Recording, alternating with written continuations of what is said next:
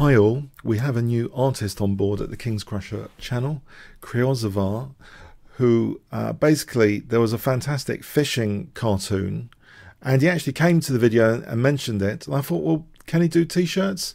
And he's actually done us a couple of designs. Uh, so the original thorn pawn uh, which I did um, was this one and then I did try and improve it with this one and that was another designer uh, and then there was another version of that with slightly spiky hair. But uh, I, my favourite so far is with our new designer, and he's done these two new designs. So before we get on to the thorn pawn, he did also a queen in Siberia. So maybe you're uh, a chess enthusiast missing uh, your loved one, and she's in. It feels as though she's in Siberia at the moment. You could show your love clearly for her with this T-shirt.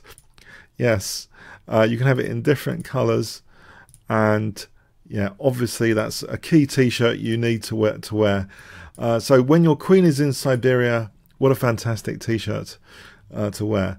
Uh, okay, but the main thing that I've been searching for relentlessly is a great thorn pawn T-shirt, and this is what I call the really wicked edition.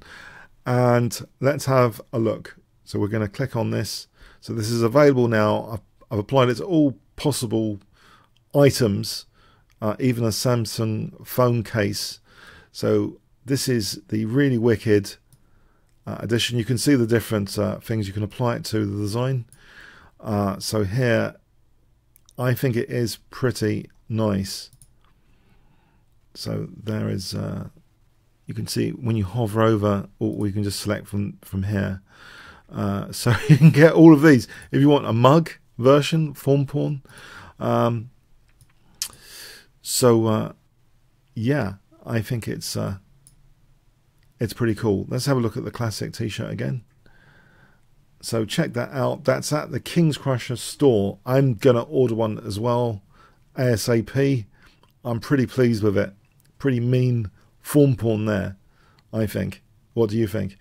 If you've got any uh, design ideas, please let me know in the comments of the video and this guru of design can maybe start cracking on some other designs of interest. Thanks very much.